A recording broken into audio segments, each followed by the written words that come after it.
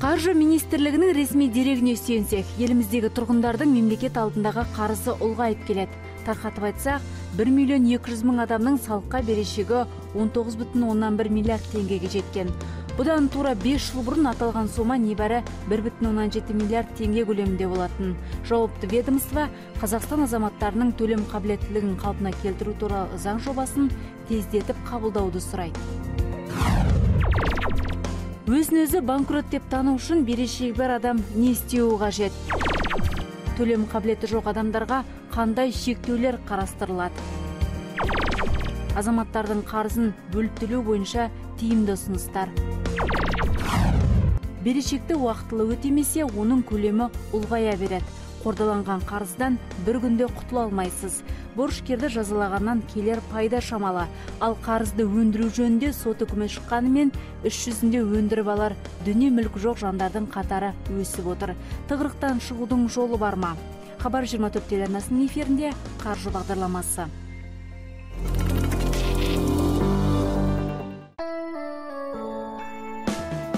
нур отандын экономикалык саясат кеңесинде кызуу талкууланган жоба жеке туулгалардын банкроттугу тууралуу кужат заңнамага сайкес үч айдан артык карызын өтөй алмаган тууга өзүн банкрот деп жарыялауга укуктуу тийиштүү орган борушкердин төлөм кабилетин калпына келтирүү үчүн убакыт созот онун бар мүлкүн саудага чыгарат банкрот деп таанылган адамга жеке касипкер болууга чет элге чыгууга несие алууга немесе өзге несие алуучуга кепил болууга заң жүзүндө бир катар шектөө жасалган аталган кужат келесі айда парламент карауына жиберилмек заң іс жыйырма биринчи жылы күчүнө энүүгө тийиз жаңа кужатка артылган жүк ауыр. Негизги максат карызы бар адамдын берешегин өтөөгө мүмкүндүк жасоо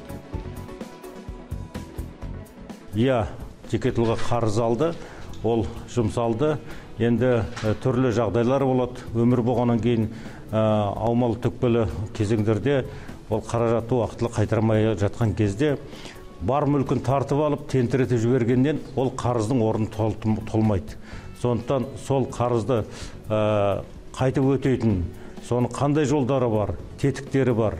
Сол әлемдік тәжірибені қолдана отырып осы жеке тұлғаға ең бірінші қажетті дүниелерді қалдырып ертеңге кішкене болса да трамплин болатын жағдай жасасақ жасатсақ деген ой пікірдеміз. Жыл басынан бери эл тургундарынын банкке кайтармаган карыздары төрт жарым триллиондон асты. Осунун баардыгы жеке туулгаларга өздөрүн банкрот деп жарыялап эңсесин эзген зил батпан жүктөн арылууга мүмкүндүк берүү маселесин көтөрүп отур жаһандагы дамыган элдерде колдонулатын бул тетикти өз элибизде эндирүүдүн алгы шарттары бар. Үч жыл миң он бешинчи жылга казакстан жаңа жаһандык накты акыбалда өсүү реформалар дамуу жолдоунда жеке туулгалар банкроттугун азирлөө тууралуу тууралуу тапсырма берген болатын. Қазір ол мәселе де өте күрделі. Өйткені шиеттей бала шағасыменен көшеге тентіретіп жіберген адамдардың ертеңгі күні не болады? Ол қайтып сосын жаңағы сол қарызды өтейтін жағдайға келеді. Бірегейі жиырма квадратқа дейінгі тиесілі пәтерлерін қалдыратындай мүмкіндігін туғызып егер жылжымайтын мүлкі болса сол арқылы кішкене болса да ол табыс табатын мүмкіндіктерді туғызып ертеңгі күніне сенімділікті ұялатып және сол қарызды қайтаратын мәселелерді. Таразынын эки басы бар. Банкротко учураган жеке туулгалардын жалгыз баспанасын сактап калуу тууралуу заң чыкса нурлуу жер және жети жыйырма жыйырма беш бағдарламалары туралап калат бир сөз менен айтканда мындай шектөөлөр мемлекеттик бағдарламаларға кері әсерін тийгизүү мүмкүн бул мәжіліс депутаты аманжан жамаловдун пикири қазіргі убакта улуттук банк пен каржы министрлиги арасында даулуу маселе бар. Ол банкротко учураган жеке тұлғаның жалғыз баспанасын тәркілеу заң жобасында борышкердин жалгыз үйүн сатууга тыйым салынган каржы министрлиги буга каршы ал улуттук банк эгер бул заң менен шектелсе шағын және орта бизнеске баспананы кепілге қою арқылы несие беру тоқтайды ма деп алаңдаулы. Экономических прав наших граждан. Азаматтардың экономикалық құқығын қорғай отырып тағы бір тығырыққа тірелуіміз мүмкін. Қарыз алушының жалғыз баспанасын тәркілемеу туралы шешім шықса нұрлы жер немесе жеті жиырма жиырма бес секілді бағдарламалар тоқтауы мүмкін. Банктер үшін несиені қайтармау қаупі басым. Қазір ипотека нарығы жыл сайын 80 пайызға өсім көрсетіп келеді. Заңда шектеу болса потенциалды тұтынушылар баспана ала алмай қалады. Былтыр коллекторлық қызмет туралы заң қабылданған болатын.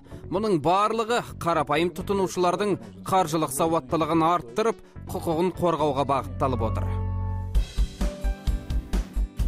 Айта кету керек 2021 жылдан бастап еліміздегі азаматтар табысы туралы декларацияны жаппай тапсыратын болады. Қаржы министрлігі қарызы бар тұрғындарға барынша жеңілдік жасауды көздейді. Тіпті сотқа кететін шығындар азайтылған.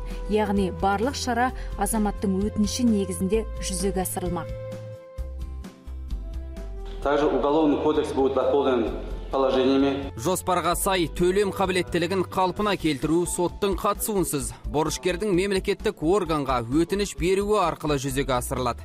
Бұл рәсім қарызды қайта құрылымдауға және қалыптасқан жағдайдан бірте бірте шығуға бағытталған біртұтас кешеннен тұрады. Ал қарыз қайтарудың жоспарын тәуелсіз қаржы әкімшісі құрастырады. Оны тағайындамас бұрын борышкер мен қарыз берушінің келісімін алу қажет.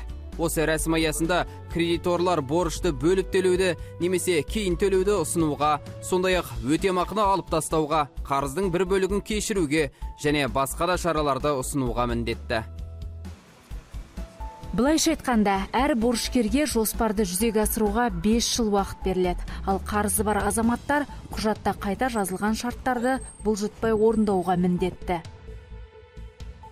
Бүгін 12 триллионнан асқан ә, жеке тұлғалардың қарыздарын жабуға өзіндік септігін тигізетін мүмкіндіктердің бірі бірегейі деп.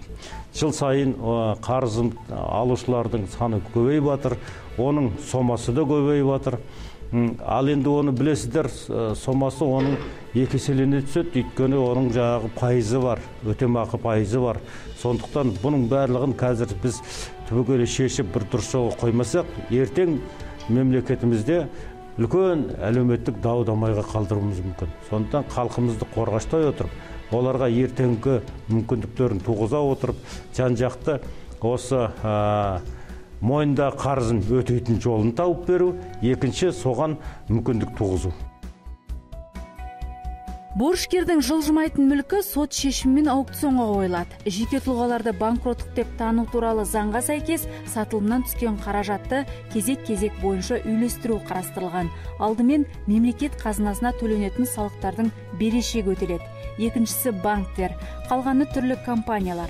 Осы орайда кейінгілеріне тиын тебен тимеуі де мүмкін. Соған қарамастан сауда саттыққа қойылған мүліктің сомасы жетпесе де сот шешімі бойынша есептен шығарылып борышкердің қарызы жойылады. Еліміздегі экономистер мен қаржыгерлер заңгерлер тұтынушылық несие беруді шектеуді ұсынады. Себебі көбінің қаржылық сауаттылығы төмен. Ал мұны коллекторлық агенттіктер бүгінге дейін тиімді пайдаланып жүр. Тіпті борышкерлерге қоқан лоққы көрсетуге дейін дайын.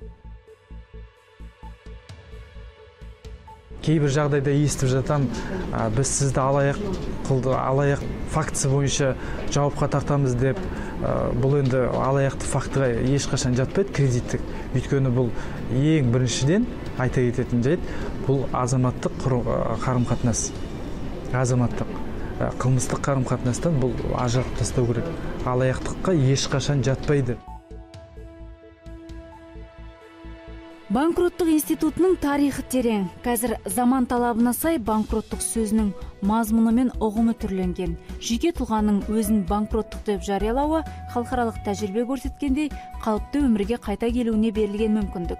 Өз өтініші бойынша берешегін бөліп төлеу мүмкіндігі де бар. Мемлекет қарызын мүлде өтей алмайтын азаматтың жағдайын ескеруге дайын. Дәрменсіз адамнан ешкім артық ақша талап етпейтіні түсінікті. Берешегін өтей алмаса қарызын кешіріп жалғыз баспанасына тиіспейді. Ең бастысы қарызы қордаланған тұрғындар табысы мен дүние мүлкін мемлекеттен жасырмай көрсетуі тиіс.